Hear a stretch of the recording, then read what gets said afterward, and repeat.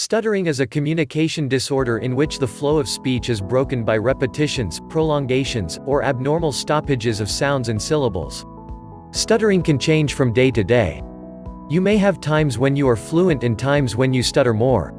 Stress or excitement can lead to more stuttering. 1. Stuttering also called stammering in many countries is a biological and neurological condition that is caused by more possible triggers, the first being genetics. Stuttering tends to run in families, and genes that cause stuttering have been identified. 2. About 5% of children 1 in 20, ages 2 to 5 will develop some stuttering during their childhood. It may last for several weeks to several years. 3. Stuttering is more common in boys than girls. It also tends to persist into adulthood more often in boys than in girls. 4. Stuttering can begin gradually and develop over time, or it can appear suddenly.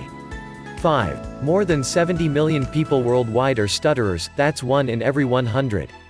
In the US, more than 3 million people stutter. 6. Family dynamics may cause stuttering too, with high expectations, fast-paced lifestyles, and emotional trauma having an impact. 7. Many famous actors, athletes, and musicians have dealt with stuttering. Marilyn Monroe, James Earl Jones, Emily Blunt, B.B. King, and Shaquille O'Neal are a few. 8. Stuttering is a genetically influenced condition, most of the time, if there is one person in a family who stutters, there is a possibility that another person in the family who also stutters.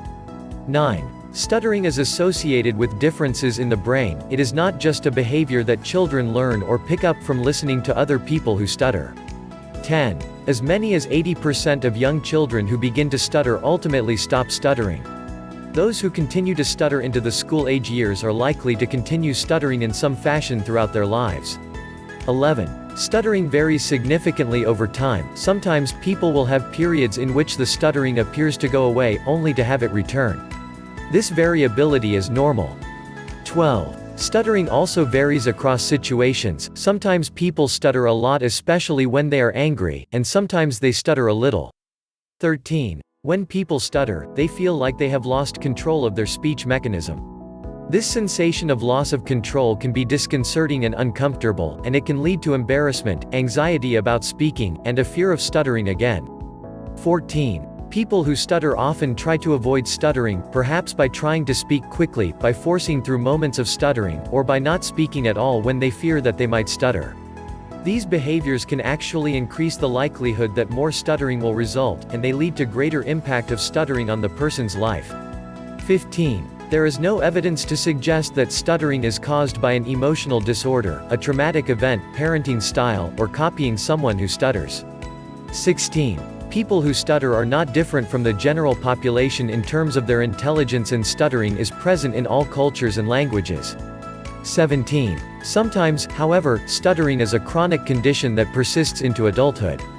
This type of stuttering can have an impact on self-esteem and interactions with other people.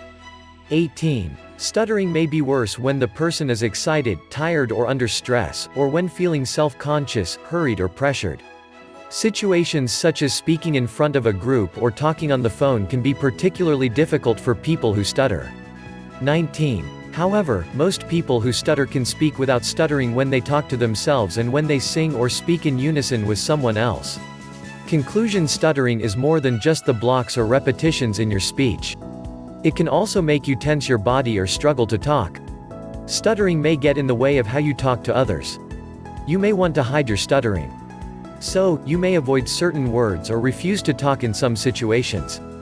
People who stutter can overcome the burden of stuttering and live full lives regardless of whether or how much they stutter. Are you a stutter or know someone who stutters? Leave a comment and help ourselves. If you find this video useful, please like, share and subscribe to our channel and also hit the bell notification to be the first to receive our next educative videos. Thank you.